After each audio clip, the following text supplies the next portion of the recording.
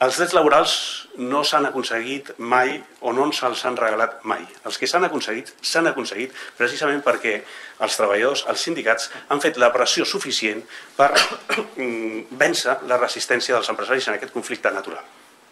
El manteniment de la criminalització del dret de vaga el que persegueix és enfablir, debilitar la força que tenen els treballadors a través d'aquest instrument, que és el dret de vaga, i per tant s'ha d'eliminar del Codi Penal. I diria una cosa més. El fet de que el Partit Popular amb la seva majoria absoluta hagi rebaixat la pena del 315 significa que el pròxim govern, sigui quin sigui, sigui que hi hagi acord, sigui que hi hagi noves eleccions, se li ha de fer una primera exigència fonamental i és excloure del Codi Penal el dret de vaga. Jo estic molt content, estic molt confoi per l'absolució dels vuit companys, dels vuit treballadors d'Airbus de Getafe. Això s'ha de dir ras i curt. Però al mateix temps dic que quan el jurista llegeix la sentència del jutjat penal número 1 de Getafe, sap que tota la primera part segueix dient que hi ha una regulació jurídico-penal restrictiva de l'exercici del dret de vaga. La segona és l'absolució perquè no ha quedado probado, perquè no ha quedado probado. Però això, com deia molt bé l'Andrés, segurament ho hem de tenir en consideració.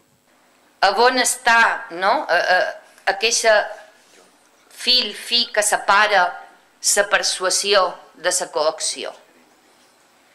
Fins a on jo t'estic persuadint com a picat informatiu perquè facis vaga i fins a on qualcú pot decidir que t'estic coaccionant i que m'estic extralimitant amb la meva activitat sindical.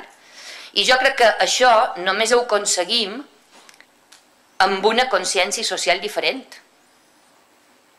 On s'entengui que la tasca dels piquets no són tasques violentes. El derecho fundamental que unos sindicalistas o que un sindicato tiene en establecer unos mecanismos para llegar a una negociación colectiva y lograr que el conjunto de los trabajadores en un determinado momento tenga mejoras sociales y económicas, se está quebrando. Porque si no me permiten que en un determinado momento de confrontación yo pueda hacer una huelga con toda la libertad que ello implica, pues sencillamente estamos poniendo en duda aquello que nos costó tanto en la década de los 70 y de los, y de los 80 poner encima de la mesa.